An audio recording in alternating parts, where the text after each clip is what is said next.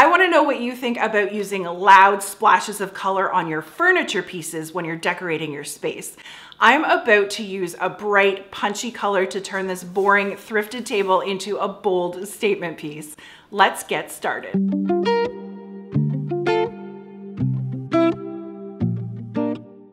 Painting a table like this is a great way to add a splash of color and personality to any space. I picked up this battered table at a thrift store a few months ago, tucked it away, and actually forgot all about it. I'm a bit of a neutral Nelly myself, but I've decided that this is the day this table is getting a bold makeover that's gonna make sure it never gets forgotten again. At first glance, this table looks like solid wood, and it is mostly solid, but the knotty pine panel on the top and on the sides are actually just a veneer over some particle board. The first thing that alerted me to that was this bubbled up spot. It looks like someone left something wet on here long enough for the moisture to absorb through the wood veneer and down into the substrate, which caused it to swell. There's not really a great way that I know of to fix this other than to go to the hassle of smoothing it out and applying a new piece of veneer over top or smoothing it out and using some paint to hide it. Since it's been lost in the garage for a few months, it is super dirty, and the first step for all of my painted projects is a good wash up. Furniture surfaces are always so much dirtier than you could ever guess, but when you're planning to paint, you need to make extra sure that your surface is clean and free from anything that might resist the paint, like oils or waxes from old furniture polishes.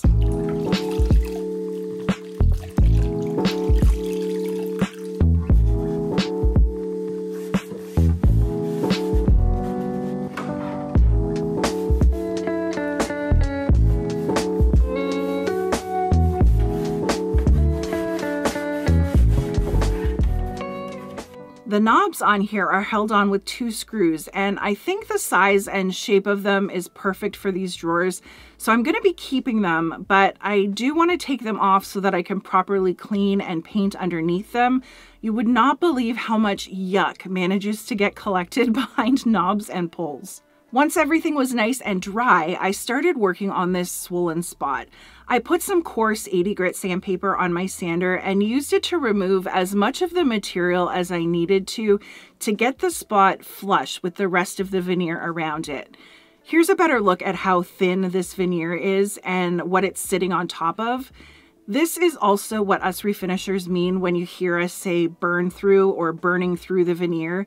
Usually you want to avoid sanding through the wood layer, but in this case, that's what I'm trying to do so that I can make all this flat again.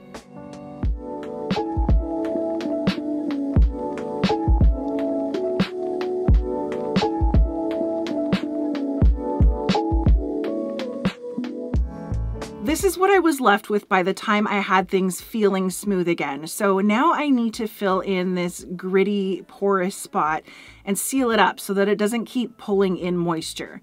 I like to do repairs like this with a two-part epoxy style filler. These three are all really just the same stuff by different brands, so any of them will work.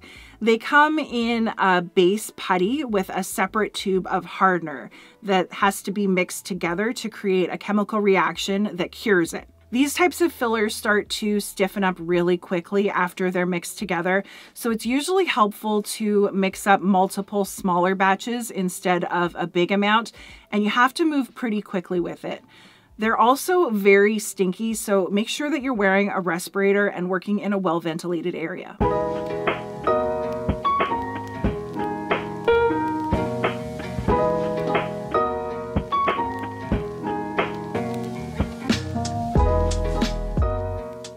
While the filler was setting up, I went on to sanding the rest of the table.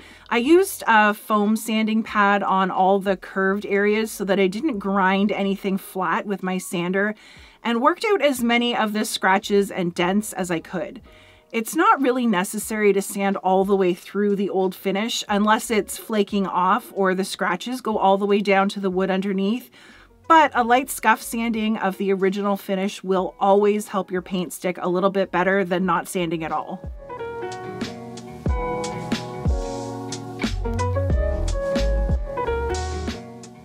By the time I was finished with the rest of the table, the Bondo was nice and hard, so I sanded that all smooth as well.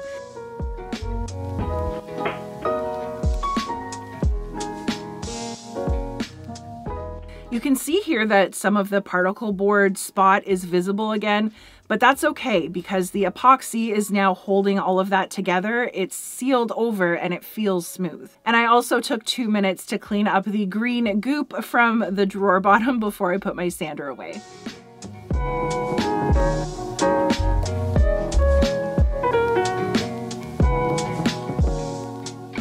I used a microfiber cloth to pick up any sanding dust from the table and then put a piece of painter's tape on the inside of the hardware holes and masked off the drawers.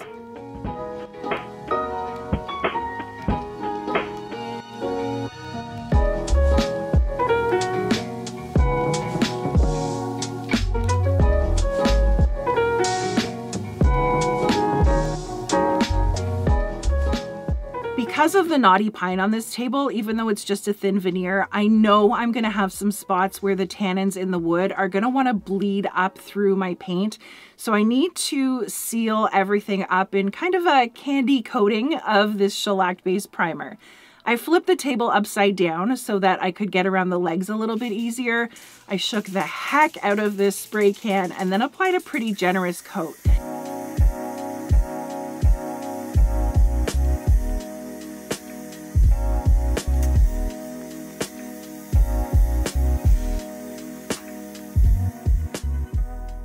And after about 15 minutes, it was dry enough for me to flip the table over again and get at the top.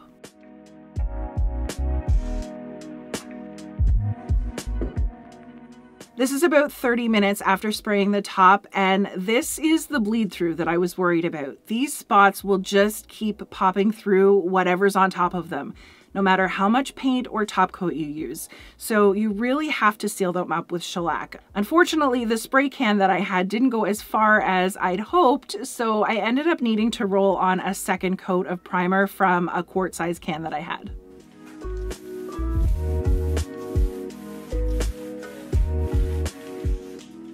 Nothing was popping through my second coat of primer, so I felt safe moving on at this point.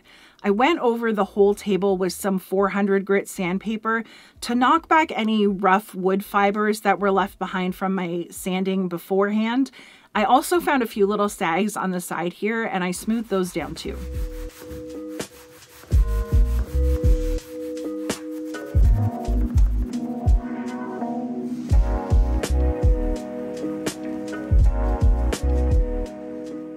Okay, now we get to the fun part. I'm gonna paint this table in this brilliant park bench green by Fusion Mineral Paint. It literally is a park bench grass green quirky splash of color.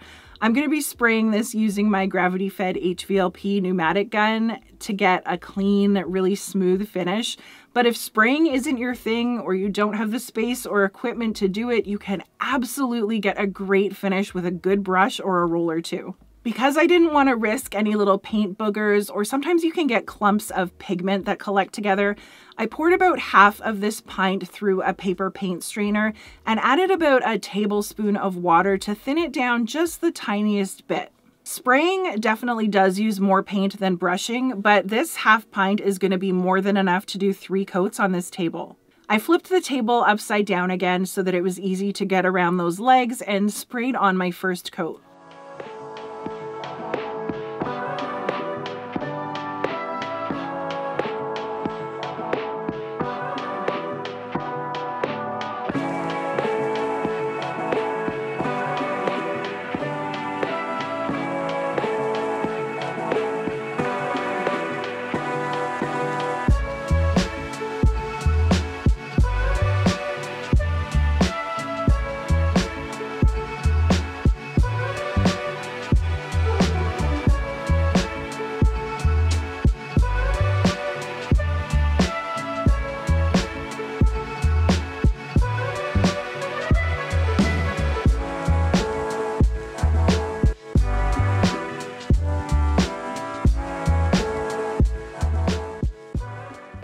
Winter and I have my space heater running in the corner of the garage, I propped up my box fan on the other side of the room just to help move the warm air around, and I left this to dry for about two hours.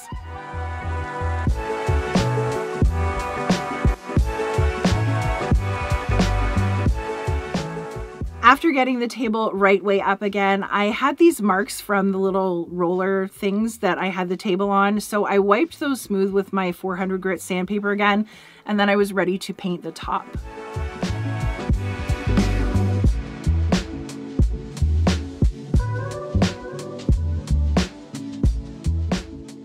I sprayed on another two coats, again, waiting the same two-ish hours in between with the fan on it.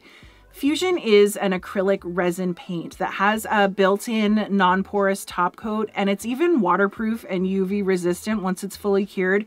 So technically it doesn't need anything additional over top. But because this is a tabletop that will probably see a lot of traffic, I am going to add some extra protection with a water-based polyurethane. It's also going to add a little bit more of a sheen since Fusion is I'd say it's just above a matte sheen on its own. So once my last coat of color was nice and dry, I washed out my spray gun and then I really thoroughly mixed my can of poly to make sure that all of the components in here were evenly incorporated.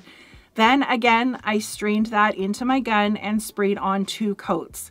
This is a lot thinner than the paint, so I always adjust the flow settings on my gun back so there's not as much product coming out, but it does mist a lot and the top coat definitely fills up the garage air for a little bit and does look quite terrifying reflecting in the sunlight like this.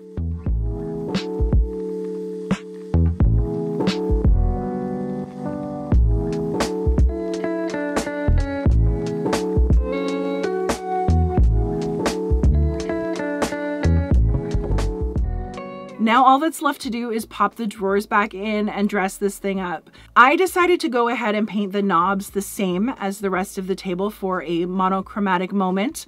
I'm sure a lot of you watching will have a different preference than that, but this is my preference on my table, so that's okay.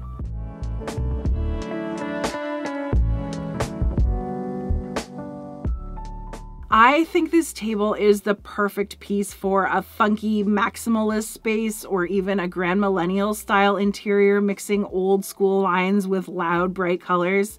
Let me know your thoughts on this one, the good, the bad, and the ugly down in the comment section. I'm so curious to know how many of you would add a piece like this to your own home decor.